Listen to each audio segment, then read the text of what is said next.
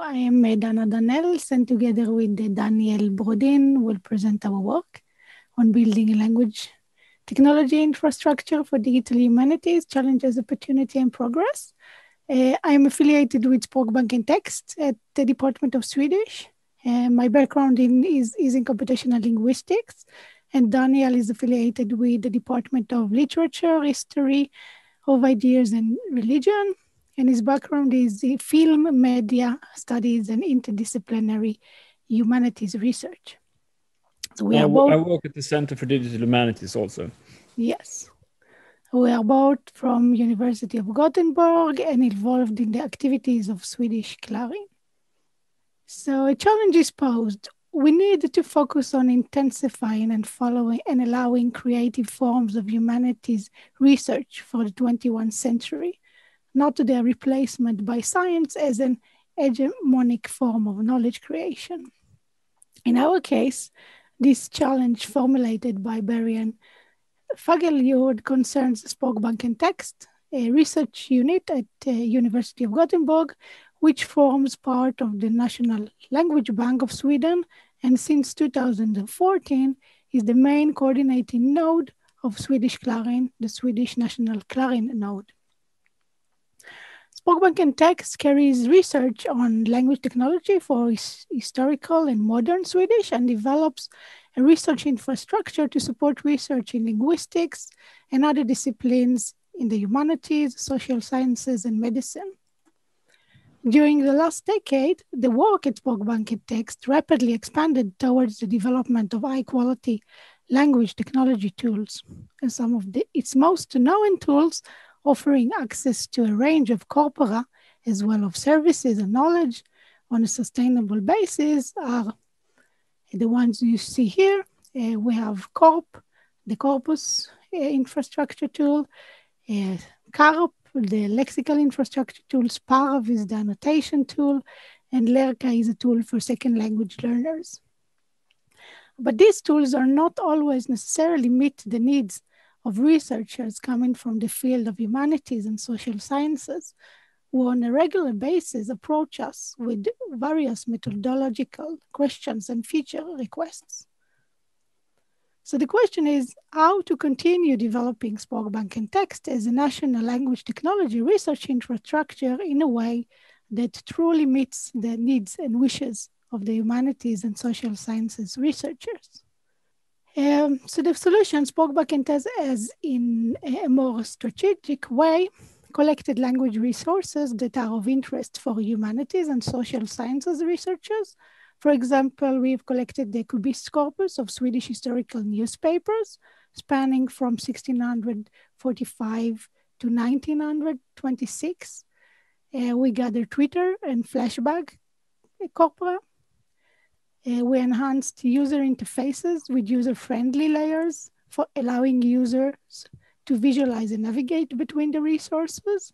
For example, to be able to generate maps marked with locations of place names that are mentioned in a text or graphs for visualizing occurrences of names appearing in the text.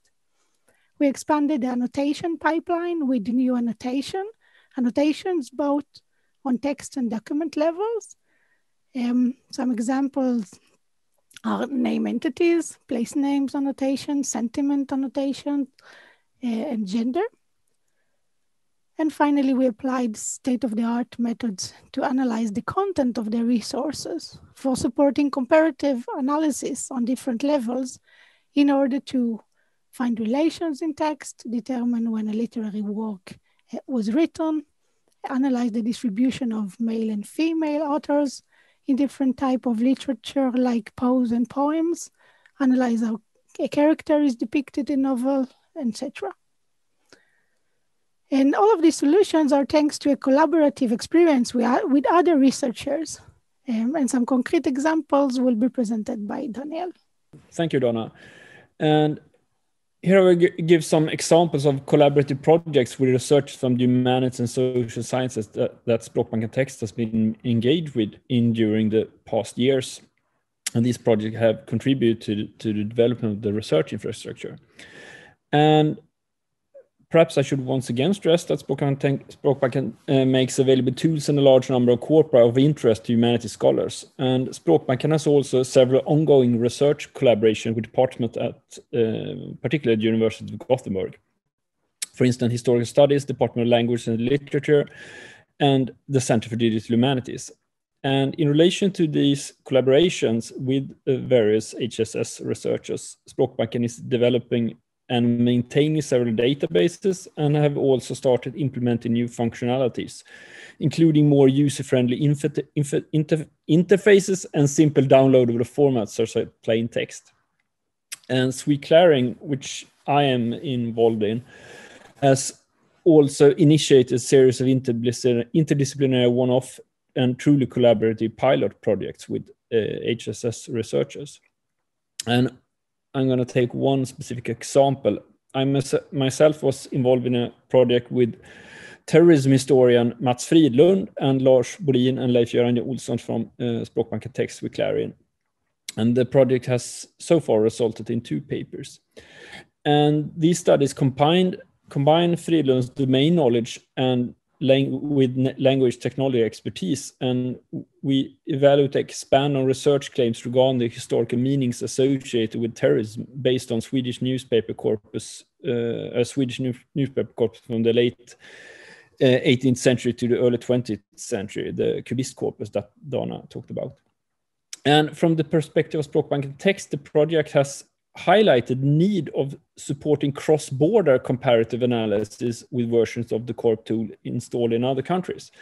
And as Fridlund, the lead researcher, has an interest in both Swedish and Finnish history and terrorism, uh, our second paper included a comparative analysis of a Finnish newspaper corpus, which required a content search involving both Swedish Korp tool and the version used by the Language Bank of Finland. And SweClarin uh, uh, also organizes user workshops that we call SweClarin Tour to spread knowledge about our research uh, resources and to provide hands-on training, but also to gather user feedback. Mm, this is quite important. And sim similar to the collaborative projects, uh, the workshop dialogues provide insight into current limitations of our tools, from bugs to functionality gaps, and a, a, recurring feedback has been the need for document level access to the materials provided by Språkbanken. And as we all know, while researchers in language technology have limited interest in the non-linguistic content of corpora, so to speak, the cultural and historical aspects of the content are elemental to researchers from many other disciplines in the humanities. Thus, uh, Språkbanken has initiated extensive work to meet the need for document level access to text, most prominent example being probably being the further development of the widely used Korp tool. And to conclude, uh, the collaborative research projects, projects uh, and workshops have given Språkbanken Text access to a body of perspectives ex experience which, which have provided valuable insights into the needs of HSS researchers, the current limitations of the tools and resources provided by Språkbanken, and also uh, an orientation in how to further develop the tools and resources.